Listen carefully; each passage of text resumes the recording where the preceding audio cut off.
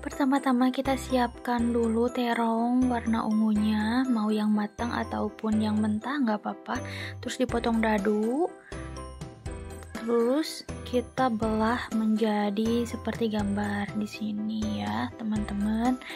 Lalu kita balurin ke tepung serbaguna.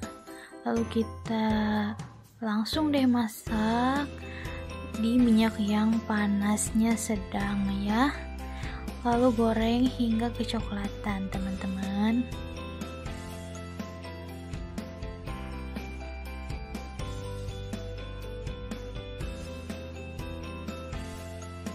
Nah, sambil menunggu beberapa saat, jadi deh. Nah, kita makan yuk. Yuk cobain. Enak banget loh terong crispy ini. Dalamnya lembut, luarnya crispy.